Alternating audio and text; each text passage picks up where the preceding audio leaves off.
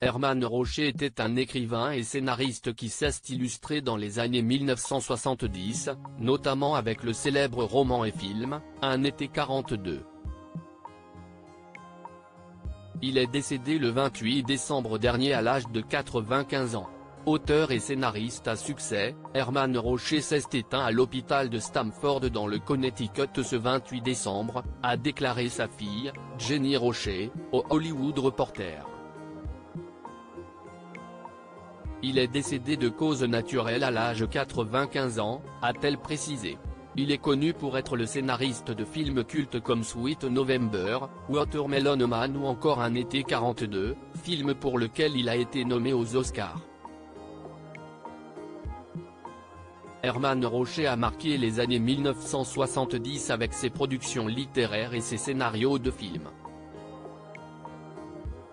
Un film devenu culte Rocher a commencé sa carrière de scénariste en 1968 avec deux films mettant en vedette Anthony Newley, Sweet November et Hieronymus Merquin Peut-il un jour oublier Mercy un peut trouver le vrai bonheur?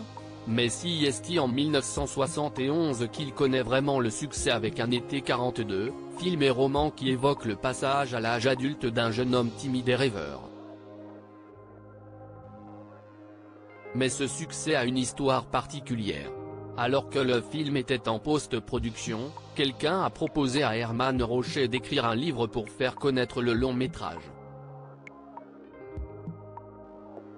L'écrivain a finalement écrit ce roman en trois ou quatre semaines et il est devenu un best-seller national avant que le film ne sorte dans les salles de cinéma.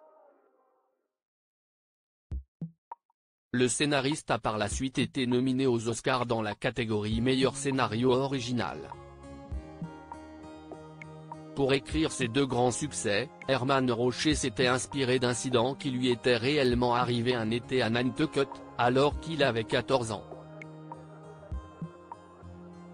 Après le succès d'un été 42, il a écrit la suite, Classe 44, en 1973.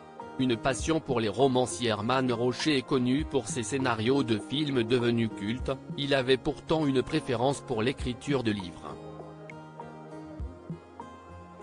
Malgré ses succès sur grand et petit écran ainsi que sur scène, Rocher s'est toujours senti plus à l'aise avec les romans, le seul média dans lequel personne ne pouvait changer même une virgule sans son approbation, une condition à laquelle tout écrivain aspire mais très peu y parviennent, avait confié sa fille. L'écrivain a publié plusieurs romans dont A Glimpse of Tiger ou encore Sublime à mort juvénile. Herman Rocher laisse derrière ses deux filles, qu'il a eues avec la danseuse Marie-Catherine, décédée en 2002, et ses deux petites filles.